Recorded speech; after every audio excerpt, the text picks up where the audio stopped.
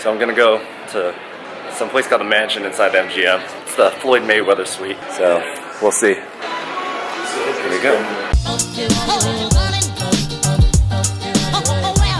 Hey there, buddy. Hello. Welcome to the mansions, I guess. Is this your residence now? Apparently, it's my new home.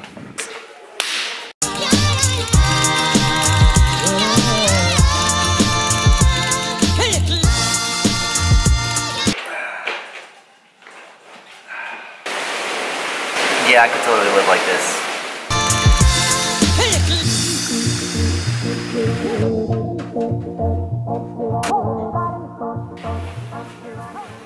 I'm in Vegas. It's one of those places where I truly, truly think you should only be here for about 24 to 48 hours. I could not agree more with anyone else who feels the same way. I've been here since Saturday.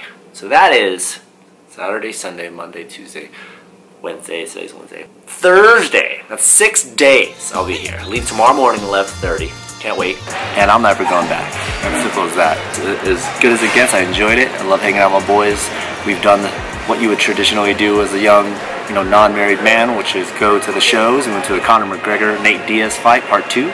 Absolutely freaking amazing.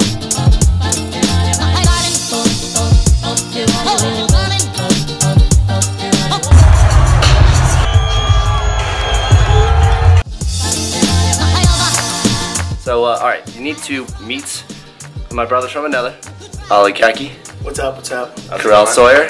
You guys are awesome. JR's the best. Watch all his videos. 11 years later in Vegas. 11 years. A lot of partying.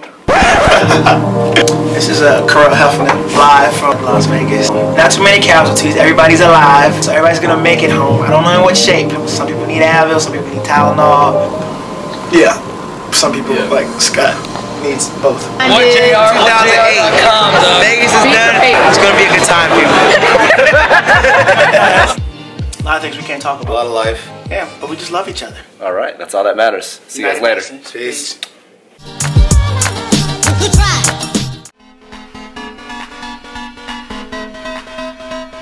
So what rehab? And here's the line. The line for rehab.